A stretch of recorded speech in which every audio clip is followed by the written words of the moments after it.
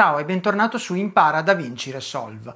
Oggi vedremo un'applicazione particolare dei Fairlight FX.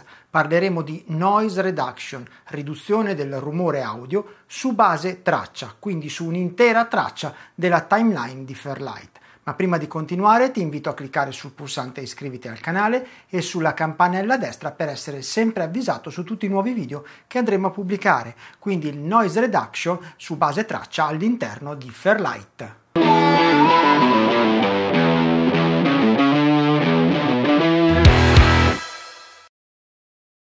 Ritorniamo oggi a parlare di effetti su Fairlight, però ragionando a livello di traccia e non a livello di clip. Nel precedente tutorial abbiamo visto come andare ad applicare un Fairlight FX all'interno di una singola clip in timeline.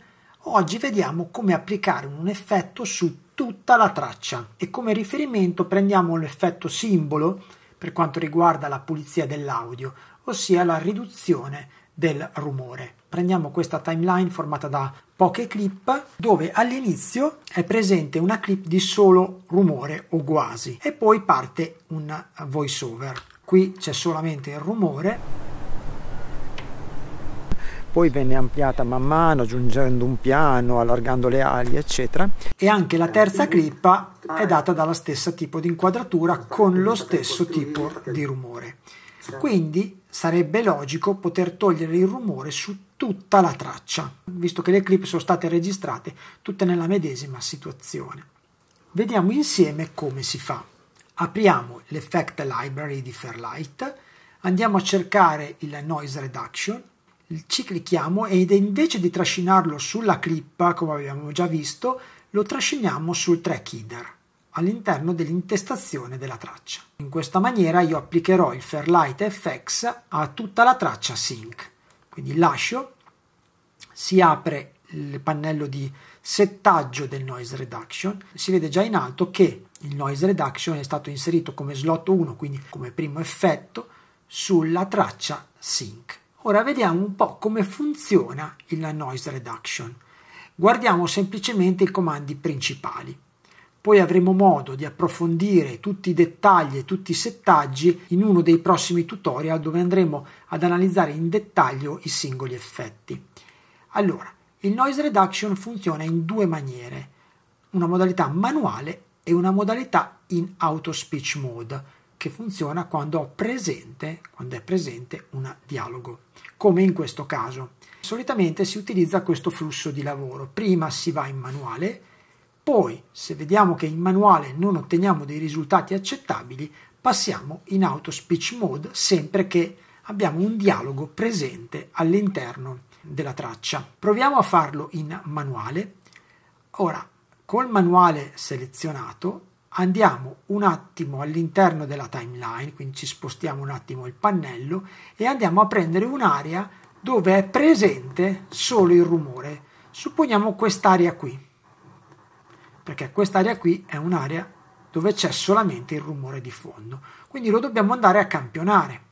Per andarlo a campionare fissiamo un mark in e un mark out. Quindi andiamo all'inizio della timeline, premiamo I per fissare un mark in a livello di timeline, andiamo un po' avanti e fissiamo un mark out. Quindi selezioniamo quest'area. Ora andiamo a dire al noise reduction di iniziare ad imparare, cioè di iniziare a leggere il rumore, perché tutto quello che andrò a riprodurre adesso sarà rumore audio.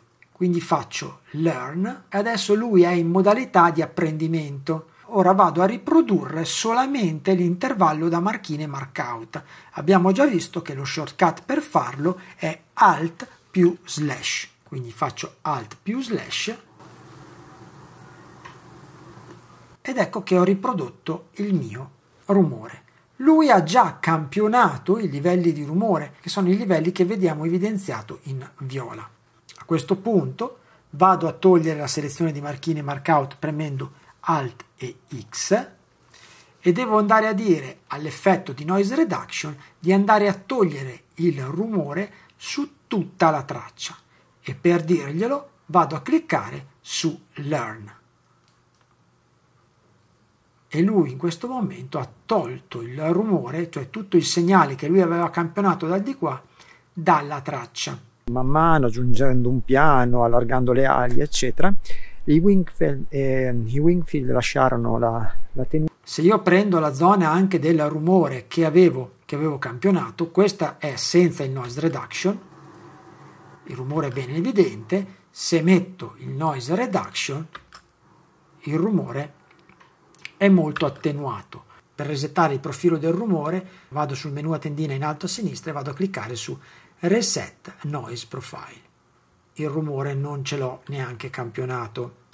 Adesso proviamo a fare l'autospeech. L'autospeech funziona tramite un algoritmo che mi permette di identificare il dialogo e tramite un'analisi spettrale mi permette di andare a identificare i profili del eh, rumore. Quindi faccio autospeech, non ho bisogno di fare learn perché viene identificato da solo vediamo come si comporta, mettiamo listen to noise only, sentiamo come viene. Vedete la voce non c'è ma c'è tutto il rumore di fondo che viene preso. Vediamo come viene l'audio normale, togliamo il check su listen to noise only. I Wingfield, eh, i Wingfield lasciarono la, la tenuta eh, circa a metà degli anni. Direi che il risultato è buono direttamente utilizzando il metodo automatico. Se vogliamo fare le cose semplici con noise reduction, la procedura più corretta è prima proviamo il manuale, vediamo se siamo soddisfatti del risultato, utilizzando un'area dove c'è solamente il rumore. Se non siamo soddisfatti o non abbiamo un'area ben definita dove poter campionare il rumore, ci conviene andare in auto speech mode se abbiamo un dialogo presente, perché l'algoritmo di Resolve è in grado di identificare il dialogo e di escludere tutto quello che non c'entra col dialogo, andandolo a considerare come rumore. Questo è un effetto applicato a livello di traccia. Adesso chiudiamo il pannello di controllo. Se io vado a cliccare su una clip, all'interno dell'inspector non c'è il noise reduction, però se vado sull'intestazione della track, ecco che compare il noise reduction, cioè questo è un effetto che funziona su tutte le clip che sono state inserite sulla traccia A1 Sync. Se hai delle domande in merito all'applicazione del noise reduction su una traccia della timeline di Fairlight, ti invito a farle qui nella sezione commenti di questo video e noi ci vediamo domani per il prossimo tutorial.